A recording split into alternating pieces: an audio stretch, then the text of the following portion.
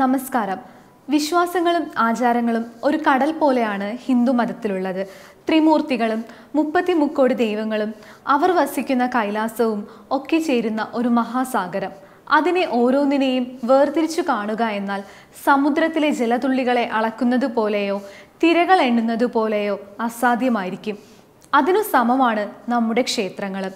വിഷ്ണുവിനും ശിവനും കൃഷ്ണനും എന്തിനധികം മഹാഭാരതത്തിലെ ശകുനിയെ വരെ ആരാധിക്കുന്ന ക്ഷേത്രങ്ങൾ നമ്മുടെ നാട്ടിലുണ്ട്.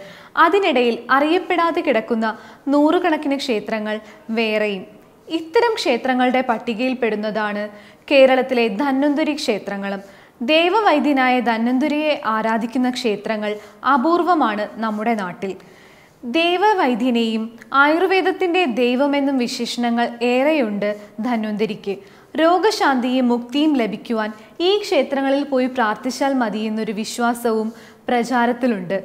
മഹാവിഷ്ണുവിന്റെ അവതാരമായി അറിയപ്പെടുന്ന ധന്വന്തരി ആയുർവേദത്തിന്റെ ആചാര്യൻ കൂടിയാണ്. പാലാഴി മദന സമയത്ത് കയ്യിൽ അമൃതുമായി ഉയർന്നു വന്ന മഹാവിഷ്ണുവിന്റെ അവതാരമാണ് ധന്വന്തരി എന്നും ഒരു വിശ്വാസമുണ്ട്. സുശ്രുതനെ വൈദ്യം പഠിപ്പിച്ചതും ധന്വന്തരിയാണെന്നാണ് വിശ്വാസം. മുൻപ് പറഞ്ഞതുപോലെ ധന്വന്തുരിയെ ആരാധിക്കുന്ന ക്ഷേത്രങ്ങൾ വളരെ അപൂർവമാണ്. വടക്കേ ഇന്ത്യയിൽ അദ്ദേഹത്തെ ആരാധിക്കുന്ന ക്ഷേത്രങ്ങൾ ഒന്നുപോലുമില്ല. എന്നാൽ കേരളത്തിലും തമിഴ്നാട്ടിലും ധന്വന്തുരി ക്ഷേത്രങ്ങൾ കാണാം. എന്നാൽ വടക്കേ ഇന്ത്യയിൽ അദ്ദേഹത്തിന്റെ ജന്മദിനം വലിയ രീതിയിൽ തന്നെ ആഘോഷിക്കുന്നുണ്ട് താനും. ദീപാവലിക്ക് രണ്ട് ദിവസം മുന്നെയാണ് ധന്വന്തുരിയുടെ ജന്മദിനം വരുന്നത്. കേരളത്തിലെ ഏറ്റവും മനോഹരമായ ധനുതരി ക്ഷേത്രമാണ് പാലക്കാട് ജില്ലയിലെ നെല്ലുവായി ക്ഷേത്രം തൃശൂരിനും പാലക്കാടിനുമിടയിൽ വടക്കാഞ്ചേരിയിൽ നിന്നും പതിനഞ്ച് കിലോമീറ്റർ അകലെയാണ് ഈ ക്ഷേത്രം സ്ഥിതി ചെയ്യുന്നത്.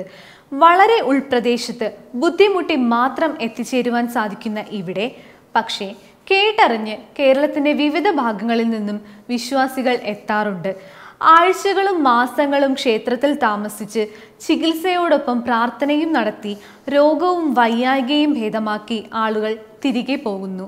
ഇവിടെ എത്തി ക്ഷേത്രം സന്ദർശിച്ച് പ്രാർത്ഥനകൾ നടത്തിയാൽ രോഗം മാറുമെന്ന് വിശ്വസിക്കുന്നവരാണ് അധികവും. ധനുമാസത്തിലെ ശുക്ലപക്ഷ ഏകാദശി അഥവാ വൈകുണ്ഠ ഏകാദശി ഇവിടുത്തെ ഏറ്റവും പ്രധാനപ്പെട്ട ദിനങ്ങളിലൊന്നാണ് നൂറുകണക്കിന് വിശ്വാസികളാണ് അന്നേ ദിവസം ഇവിടെ എത്തിച്ചേരുന്നത്. നെല്ലുവായി ഏകാദശി എന്നാണ് ഇത് അറിയപ്പെടുന്നത്. കേരളത്തിന്റെ പേരിൽ അറിയപ്പെടുന്ന നാല് ഏകാദശികളിലൊന്നും ഇതാണ്. നെല്ലുവായി കഴിഞ്ഞാൽ അറിയപ്പെടുന്ന ധന്വന്തരി ക്ഷേത്രം ആലപ്പുഴയിലാണുള്ളത്. ചേർത്തലയിലെ മരുതോവട്ടം ധന്വന്തരി ക്ഷേത്രമാണിത് അഷ്ടവൈദ്യന്മാരിൽ പ്രധാനിയായിരുന്ന വെള്ളുട് നമ്പൂതിരിയാണ് ഈ ക്ഷേത്രം നിർമ്മിച്ചത്. വെള്ളുട് നമ്പൂതിരിയുടെ അസാധാരണ കൈപുണ്യം കൊണ്ട് തന്നെ മരുന്ന് ഒരു വട്ടം എന്നായിരുന്നു ഇവിടെ അറിയപ്പെട്ടിരുന്നത്.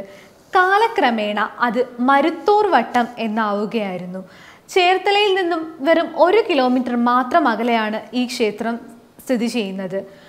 എറണാകുളം ജില്ലയിലെ പെരുമ്പാവൂരിനടുത്ത് തോട്ടുവയിലാണ് മൂന്നാമത്തെ ധന്വന്തരി ക്ഷേത്രം സ്ഥിതി ചെയ്യുന്നത്. പരശുരാമൻ പ്രതിഷ്ഠ നടത്തിയ ധന്വന്തരി ക്ഷേത്രം കൂടിയാണിത്.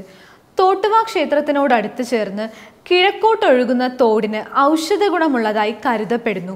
തോട്ടുവ തോട്ടിൽ കുളിച്ച് തോട്ടുവാ തേവരെ തൊഴുതാൽ സർവരോഗ ശമനത്തിനും ആയുരാരോഗ്യത്തിനും കാരണമാകും എന്നതാണ് വിശ്വാസം. എല്ലാ വർഷവും ധനു ഒന്ന് മുതൽ പതിനൊന്ന് വരെ ദശാവതാരം ചന്ദനം ചാർത്തൽ ഇവിടെ നടത്തുന്നു.